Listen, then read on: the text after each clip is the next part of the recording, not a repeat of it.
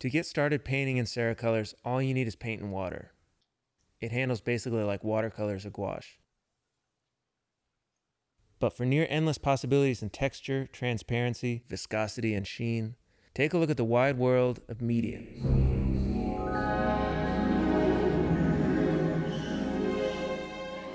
Think of Ceracolor mediums like paint without the pigment. They're made of the same waxy stuff and can be added to any color in any quantity. First of all, all mediums can be used to extend paint. Since mediums have no pigment, they're less expensive by volume. So if you're using one of the more expensive pigments, you can use mediums to get the volume you need while using less paint. And unlike the fillers used in student grade paint, mediums are made of the same stuff as Ceracolors, so there's no loss in quality. This is gel medium here, more about that later. There are currently five different mediums available for Ceracolors. The first is fluid medium. It's very thin, so I normally put it in a separate container rather than mix directly with the paint like I'm doing here. I use fluid medium all the time instead of water to make the paint flow and to increase transparency.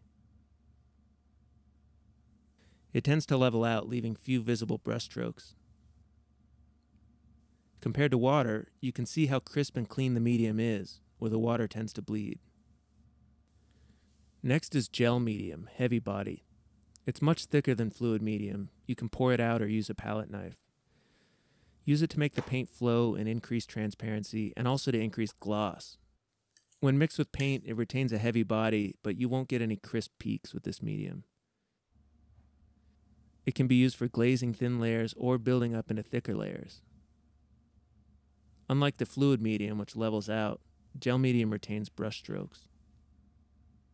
Next is molding paste. It's very waxy and useful for bulking up your paint. Build up big, heavy impastos with a brush or palette knife. You can add a lot of medium before the paint begins to get slightly lighter in appearance. Check out those stalagmites. Molding paste is thick and sculptural, and every mark will dry just as you made it.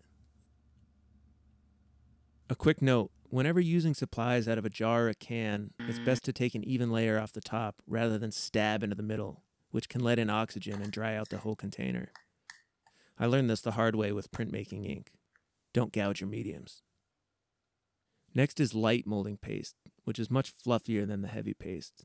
There's a toothy grittiness due to the presence of ceramic microspheres. It mixes with paint easily and has a really workable consistency. This might be my favorite medium. The marks you can make are comparable to the heavy molding paste, but the heavy paste appears more waxy and the light paste more grainy. Next is fiber paste. Also great for adding body and texture, this medium is the grittiest of all. It dries to a matte paper mache like texture, and I find it useful for making a colored ground layer, first layer of a painting. It's similar to the light molding paste in texture, but much heavier and grittier. Finally, I'll mention the retarder additive, which is not a medium, but can be used with any paint medium combination to slow drying time. Add a few drops to your pile, and you won't have to worry about it drying out while working. So here they all are, dried and stacked up for comparison. Remember, you can combine all the different mediums interchangeably. So, for example, if you like the handling properties of the paste mediums, but don't want a matte finish, just brush on a layer of gel medium over the top. And if you want to bring it to a really high gloss finish, polish the dry layer with a microfiber cloth. If you only have one medium in your kit, I recommend the fluid medium. Use it always instead of water, and you're going to have a good time.